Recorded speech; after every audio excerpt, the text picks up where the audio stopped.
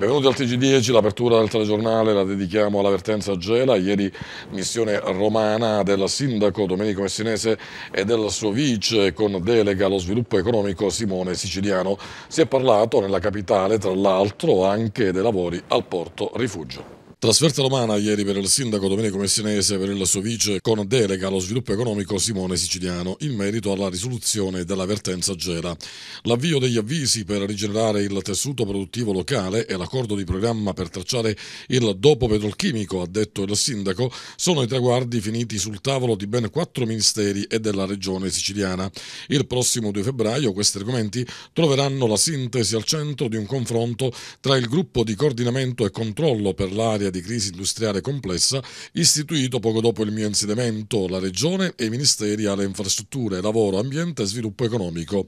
L'iter del protocollo d'intesa, irrobustito dalle nuove richieste avanzate dalla giunta messinese, ha dichiarato l'assessore siciliano, passa anche per lo stanziamento di parte degli oneri di compensazione per il porto.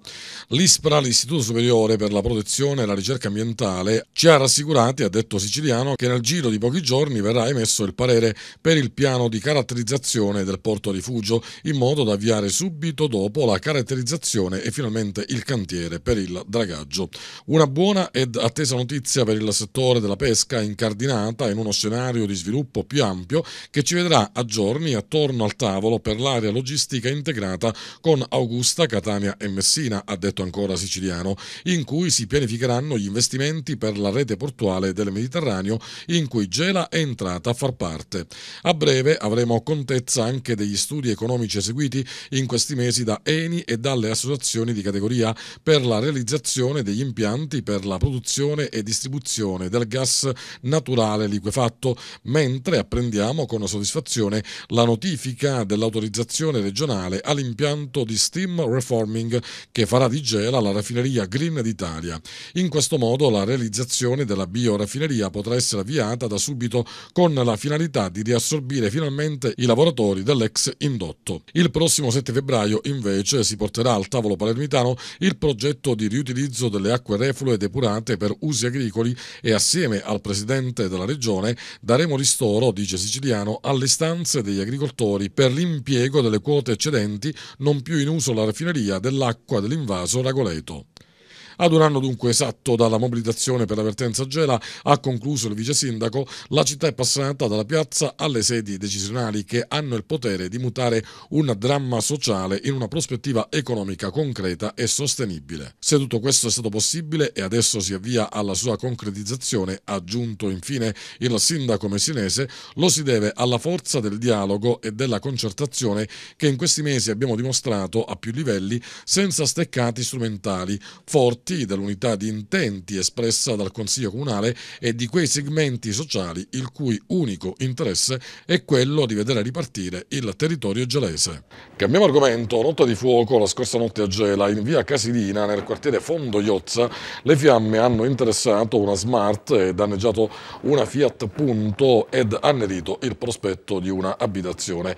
Le vetture appartengono ad una donna e ad un operaio. In via Margi il fuoco fuoco ha distrutto la smart di un altro operaio. In entrambi i casi eh, indagini sono state avviate da polizia e carabinieri. E I carabinieri di Gela hanno arrestato Igland Bodinaco, 26 anni, pluripregiudicato disoccupato albanese. Durante il controllo del territorio nelle zone particolarmente sensibili della città, i militari hanno fermato quattro persone intenti, intente ad interloquire nelle adiacenze di un bar. Fra loro c'era anche Bodinaco, personaggio noto alle forze dell'ordine. Il giovane, sorvegliato speciale con obbligo di soggiorno, più volte sorpreso in compagnia di altri pregiudicati, negli ultimi due mesi ha violato gli obblighi della sorveglianza speciale. L'uomo è stato adesso sottoposto agli arresti domiciliari. Cambiamo argomento e adesso parliamo della giornata della memoria. Oggi a Gela è giunta anche Lia Levi. Da bambina ha dovuto affrontare i problemi della guerra e della persecuzione razziale e nel 1943 è riuscita a salvarsi dalle deportazioni nascondendosi con le sue sorelle in un collegio romano. Una bambina e basta è il titolo del libro scritto da Lia Levi, un racconto autobiografico ambientato durante gli anni della Seconda Guerra Mondiale. Il libro nel 1994 ha vinto il premio Elsa Morante. Racchiude al suo interno i grandi temi della guerra, dell'ingiustizia e della definizione del proprio io attraverso una scrittura limpida ed efficace, sorretta da una interpretazione genuina come solo quella di un bambino può essere.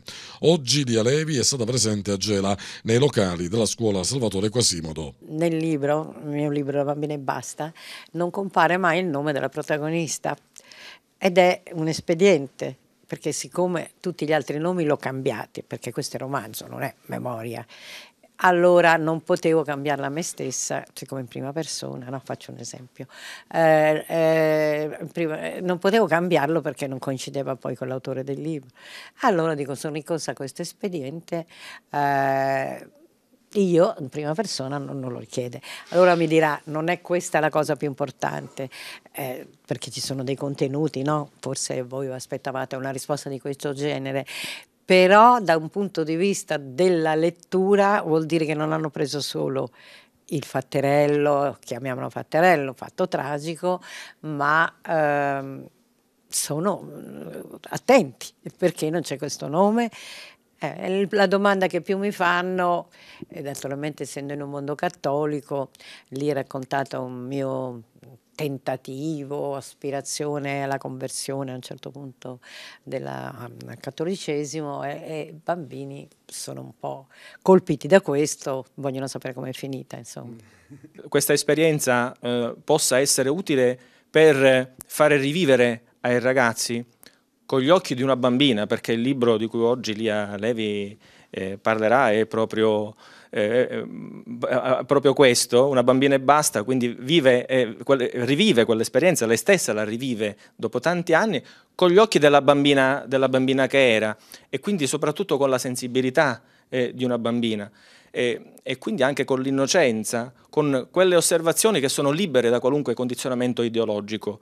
E credo che da questo punto di vista sia utile. Il terreno eh, educativo è fertile proprio per questo, perché i nostri ragazzi eh, non hanno condizionamenti economici o, ideolo o, ideologici, con loro si può parlare eh, liberamente e, e, e si può certamente eh, avere la speranza eh, di poter incidere eh, se si fa veramente educazione. Lia Levi sarà presente nel pomeriggio al liceo classico Eschilo. L'iniziativa è promossa dall'assessorato comunale alla pubblica istruzione retto da Licia Bela. Sono veramente felice di essere qui a portare Lia Levi che è forse l'autrice vivente più importante che abbiamo per la letteratura eh, sulla Shoah che abbiamo in Italia e iniziativa sulla giornata della memoria anche nella scuola Enrico Mattei Gela Butera. Sogni e desideri di un'infanzia spezzata, ho sognato la cioccolata per anni è il titolo dell'iniziativa messa in campo oggi nell'auditorium della scuola Enrico Mattei Gela Butera in occasione della giornata della memoria.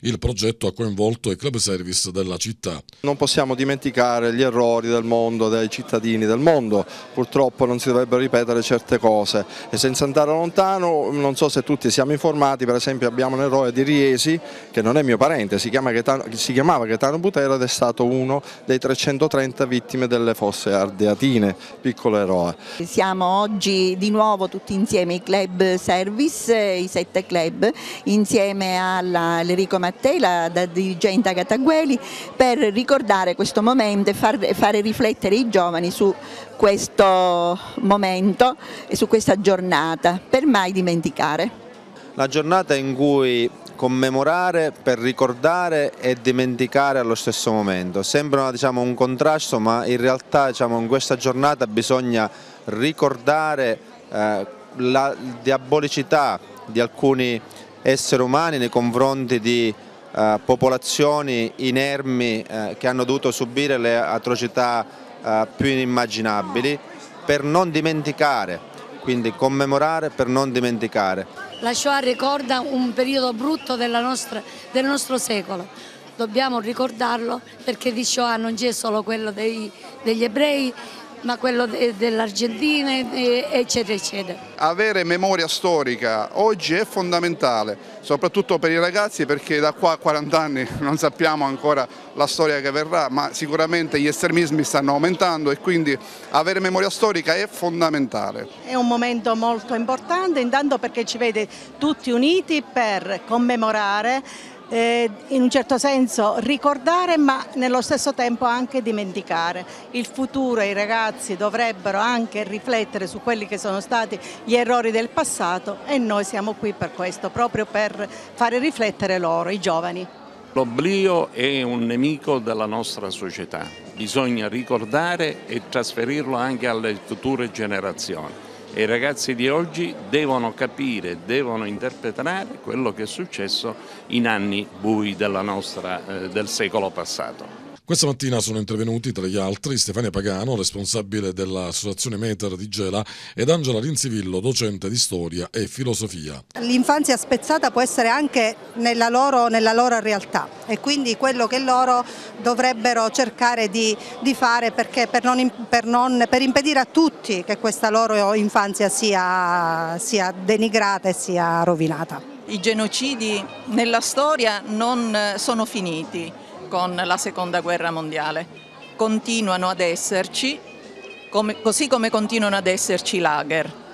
E, e il messaggio che oggi, eh, per quello che mi riguarda, eh, cerco di inviare ai giovani è quello di combattere la sopraffazione dell'uomo nei confronti dell'altro uomo. Il dirigente scolastico Agata Gueli. Durante la settimana gli alunni hanno letto un libro pubblicato tanti anni fa di Trudy Berger, un'ebrea tedesca che aveva, ha vissuto personalmente la tragicità della deportazione e il libro dal titolo eh, Ho sognato per anni la cioccolata.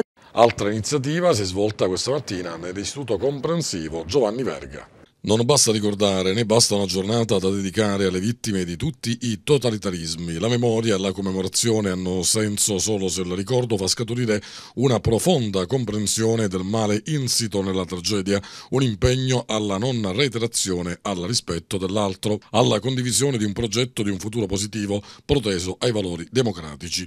È il messaggio che parte dall'Istituto Comprensivo Giovanni Verga di Gela, diretto da Viviana Aldisio. Oggi gli alunni nell'auditorium del presso di Via Saloni Ricco hanno celebrato la giornata della memoria al fine di ricordare la Shoah, la storia della deportazione e dello sterminio del popolo ebraico nei campi nazisti. Oggi i ragazzi hanno messo diciamo, in piedi quello che è un lavoro che hanno preparato eh, nei giorni precedenti.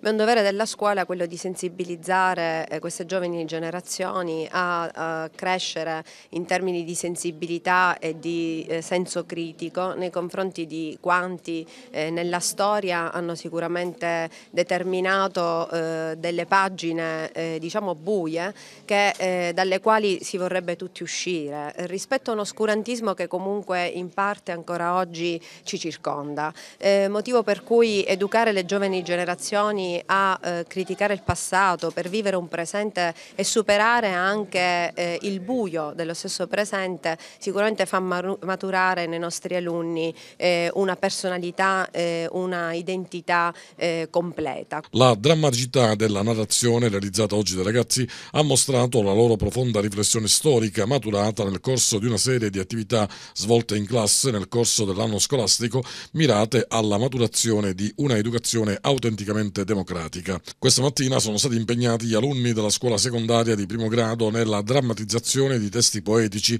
brani della letteratura, canti, coreografie per commemorare le vittime dell'olocausto e la lanciare un messaggio di speranza rivolto al mondo intero per non disperdere il patrimonio dei fatti della storia, per evitare l'indifferenza. Stiamo rappresentando appunto gli angeli che sono morti, gli ebrei, che sono morti durante appunto questa guerra e vogliamo, vogliamo dare un insegnamento vogliamo far capire che comunque quello che è stato fatto è sbagliatissimo e dobbiamo spiegare come invece dovrebbe andare il mondo. Non ci sono razze inferiori, siamo tutti uguali e che bisogna imparare a convivere con chi è diverso da noi. Un messaggio che abbiamo lanciato, che è anche molto importante, è quello di scendere dal piedistallo su cui molte persone si pongono, perché proprio per questo molte volte la gente viene discriminata. Un convegno sul tema lo sviluppo economico e comunitario è stato organizzato dall'Istituto Scolastico Luigi Sturzo di Gela in collaborazione con il Rotary Club. L'iniziativa si terrà domani alle 10 nell'aula magna dell'istituto dopo i saluti del vice sindaco e presidente del Rotary Club eh, Simone Siciliano, del dirigente scolastico Grazio Di Bartolo, del sindaco messinese e del presidente dell'ordine commercialisti di Gela Giuseppe Giudice, interverranno Giuseppe Nicoletti, presidente del Club Club UNESCO di Gela che relazionerà su sviluppo economico e valorizzazione dei beni culturali. Giuseppe Di Taranto, professore ordinario alla Luis Guido Carli di Roma e autore del libro L'Europa tradita ed infine Emilio Giammusso, docente di psicologia del lavoro presso l'Università degli Studi di Palermo. Modererà i lavori Giorgio De Cristoforo. Le famiglie residenti nel comune di Gela possono presentare istanza per l'ottenimento del sostegno per l'inclusione attiva. La misura di contrasto alla povertà prevede un sussidio economico ai nuclei familiari economicamente svantaggiati subordinato all'adesione ad un progetto personalizzato di attivazione sociale e lavorativa. Possono presentare istanza le famiglie economicamente svantaggiate nelle quali siano presenti minorenni, figli disabili o donne in stato di gravidanza accertata con unisex se inferiore o uguale a 3.000 euro. I cittadini interessati in possesso dei requisiti richiesti e che non abbiano già inoltrato istanza potranno continuare a presentare le domande direttamente al protocollo generale del comune di Gela. Per scaricare l'avviso e il modello dell'istanza è possibile consultare il sito del comune oppure ci si può rivolgere all'ufficio di segretariato sociale in Viale Mediterraneo aperto al pubblico dal lunedì al venerdì dalle 8.30 15.30 alle 13 e il martedì e il giovedì dalle 15.30 alle 17.30. Fai la cosa giusta. Mantieni il decoro urbano della nostra città. Oggi venerdì dalle 22 alle 5 depositare davanti alla propria abitazione l'organico all'interno del sacchetto compostabile. Cosa conferire? Avanzi di cibo, piccoli ossi, scarti di cucina, di frutta e di verdura, formaggi e salumi, avanzi di pane, alimenti avariati e scaduti, fondi di caffè, filtri di tè e camomilla, sfalci, piccole potature, fiori recisi e piante domestiche senza terra e senza vaso, pezzetti di legno, paglia, segatura, ceneri spente di camini, tovaglioli di carta unti, carta assorbente usata, escrementi, piume, peli e lettiere di piccoli animali domestici. L'organico deve essere depositato all'interno del sacchetto compostabile dalle 22 alle 5, anche nei giorni di domenica, martedì e giovedì. Per un ambiente pulito e sano basta un piccolo gesto. Rieccoci, seconda parte del telegiornale che apriamo parlandovi del seminario sugli strumenti e tecniche di gestione sociosanitarie rivolti agli anziani che si è svolto oggi nell'ospedale Vittorio Emanuele di Gela. Management Casa dell'Anziano Fragile, strumenti e tecniche di gestione sociosanitarie. Si tratta del seminario di studi che si svolge oggi e domani nell'auditorium dell'ospedale Vittorio Emanuele di Gela.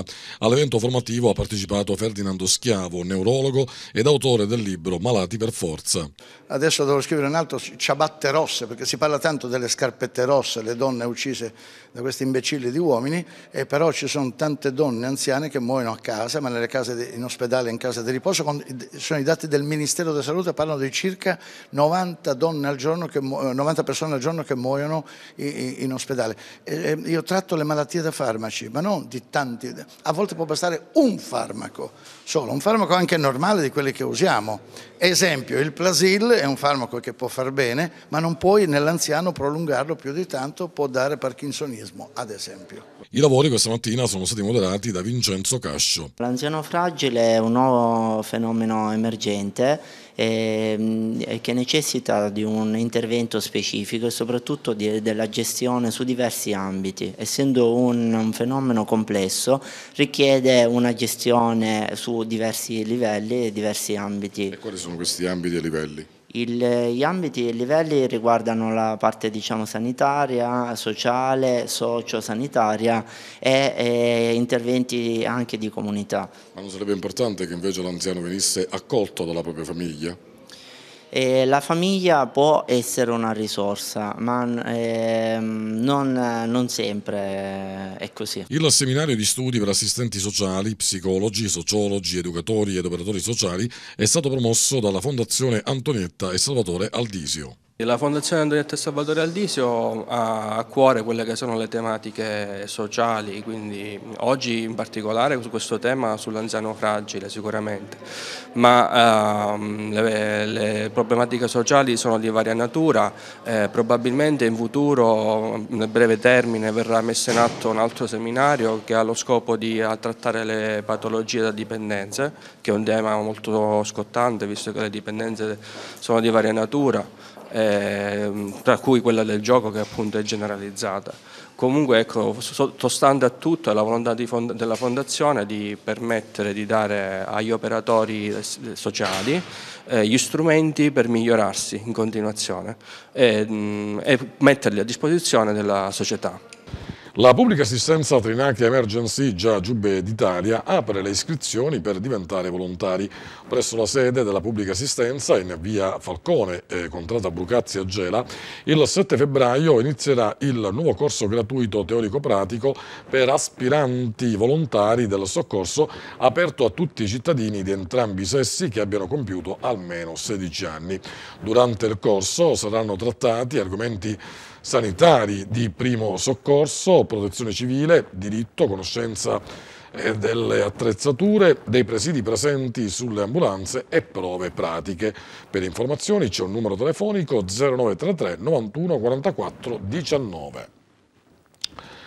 Si intitola Passaggio in Sicilia, il libro di Massimo Nofri, professore ordinario di letteratura italiana all'Università di Sassari, che sarà presentato mercoledì 1 febbraio alle 17 nella sala conferenze del liceo scientifico Elio Vittorini di Gela, eh, diretto da Angela Tuccio. L'iniziativa è della libreria Mondadori in collaborazione con l'Istituto Scolastico. Introdurrà e modererà i lavori Lina Orlando. Dialogherà con l'autore Ivo Abela. Ridurre il fenomeno del randagismo in città ed incentivare le adozioni di cani randaggi sono questi alcuni degli obiettivi da raggiungere attraverso un protocollo d'intesa. Protocollo al centro dell'incontro tra l'assessore alla tutela degli animali al randagismo Felice Dierna, il comandante della Polizia Municipale di Caltanissette e la sesta commissione consiliare. Sarebbe dunque addirittura d'arrivo il protocollo che dovrà poi essere approvato in giunta e che è stato elaborato anche a seguito di incontri avuti con le associazioni animaliste. Primo il punto è che il Comune eh, possa, una volta il trasferimento effettuato il trasferimento nell'ex scuola elementare del comando della Polizia Municipale, mettere a disposizione un ufficio dove segnalare tutti gli interventi da parte dei cittadini e dove sarà eh, diciamo, ecco, occupato da dei volontari che eh, sicuramente eh, metteranno a disposizione delle persone. E ringrazio pure le varie associazioni che hanno dimostrato grande eh, sensibilità alle associazioni ovviamente animaliste. Il secondo punto importante è che il Comune andrebbe a rimborsare per favorire l'adozione dietro ovviamente delle fatture che presenterebbero chi vuole adottare un cane, quindi anche gli stessi componenti delle varie associazioni, proprio per favorire queste eh, adozioni che sono, riteniamo che sia un passo importante proprio per attenuare il randagismo della nostra città. Un altro fatto anche eh, molto importante, eh, non di minor conto, è che eh, comune, come comune metteremo a disposizione dei terreni per chi, come eh, tante associazioni magari che operano in questo settore, volessero fare richiesta mh, al comune di avere in affido un terreno proprio per le cucciolate, le cosiddette cucciolate che oggi come oggi vengono abbandonate nelle nostre strade cittadine per poi essere portate al ricara, appunto al canile siccome appunto i ricara eh, non dovrebbero andare a finire lì, i cuccioli, e quindi l'intenzione è di eh, dare questo terreno in modo tale che i, le cucciolate abbandonate possano oh, essere eh, ovviamente curate, possono essere gestite presso questo terreno che, eh, ho come ho detto, le associazioni potrebbero richiedere. Un altro aspetto anche eh, importante, ritengo fondamentale, sia proprio come eh, tutti, diciamo, le associazioni abbiano collaborato e di cui ringrazio ovviamente tantissimo tutte le varie associazioni, ma anche e soprattutto l'ASP perché successivamente andremo a fare un protocollo d'intesa con l'ASP, ASP che effettuerà e si riaprirà Contrada Bucceri, chiusa da un paio di anni, proprio dove in Contrada Bucceri si andrebbero a fare l'esterilizzazione delle colonie feline, dei gatti, perché è stata istituita a Caltanissetta la prima colonia felina, ma anche dei cani randaggi, dove i veterinari dell'ASP hanno assicurato i loro interventi proprio per cercare di tamponare, cercare di dare delle risposte sicuramente a questo fenomeno che in città ha assunto dei, eh, dei rilievi molto importanti e di cui ovviamente ne stiamo tenendo conto. Ultimo appuntamento dell'83esima stagione concertistica gelese promossa dall'Associazione Amici della Musica Giuseppe Navarra, domenica 29 gennaio alle 19 nei locali del Palazzo della Cultura Principessa Pignatelli Roviano si terrà il concerto del duo Maria Natalia Ruscica violino e Simone Campanella pianoforte. Abbiamo parlato della giornata della memoria, proprio in occasione della giornata della memoria, oggi al Cineteatro Antitoto di Macchitella a Gela è proiettato il film Il viaggio di Fenni, sono tre gli orari 17.30, 19.30 e 21.30. Con la pagina dedicata allo spettacolo noi chiudiamo l'informazione di oggi, vi ricordiamo sempre che il nostro sito online tg10.it è costantemente aggiornato. Grazie e arrivederci.